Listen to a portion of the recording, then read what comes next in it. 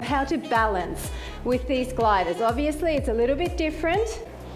Arms are just kind of relaxed and step, step, and step. Other side, always starting with the outside leg first. Front, front, back, back. Keeping the arms forward. So this one, you out, forward, out, and back. Once again, and in. So you're trying to come out quite wide. You can't slide back far enough to touch the mat, then keep it shallow, maybe here. And hinge forward, come up, hammer curl, overhead, down and down. Turn your weights towards you. Hinge forward, stick your butt out. Pulling in with the other leg. Now if you want to, and it's in and back.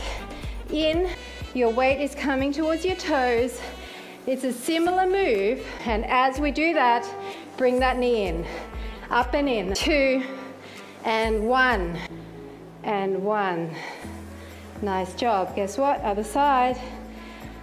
Can you do it? I can. So back and in. Back and in. Then press your hips down as you circle your arm out. Always come back and then back in. These are tough. If you want to do them on your toes, be my guest, but I'm not doing them on my toes. They're hard enough and go slow. Out and in. It's tough. Out and in. Your abs. Out and then pull in. I want you to think pull in, bring your shoulder blades to the mat, and then slide all the way in. For the hamstrings, forward and back. I want you to lean into that gliding disc up. So you really need to make sure your triceps, those hands, make sure your elbows are to the back, burning like crazy. Come on, in, in, out, out. In, in, out, out with the back leg, in and out. It's going to be a pike up with a straight leg.